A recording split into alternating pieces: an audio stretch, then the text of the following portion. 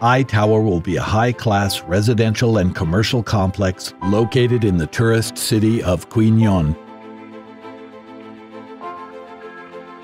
Built with five star construction quality on a total land area of 10,748 square meters. The building will offer a total floor area of 150,000 square meters with two basement levels and two 41 story residential towers with more than 1,500 luxurious apartments.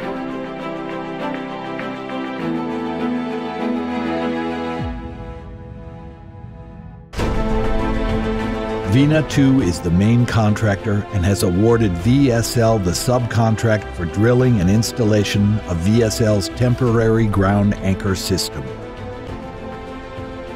The purpose of the temporary ground anchor system is to keep the diaphragm wall in position against lateral pressure of earth and water during the excavation and construction period and to prevent displacement of the retaining wall, which could cause damages to buildings and utilities at the side of the cut. It also prevents injury to the crew working inside the excavated area.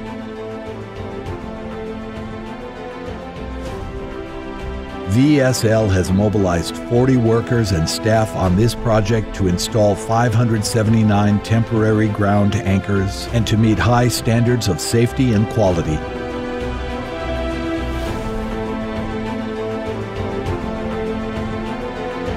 VSL has also successfully applied the rotary duplex rod and casing drilling technology for porous sand geology and construction below the water level near the sea.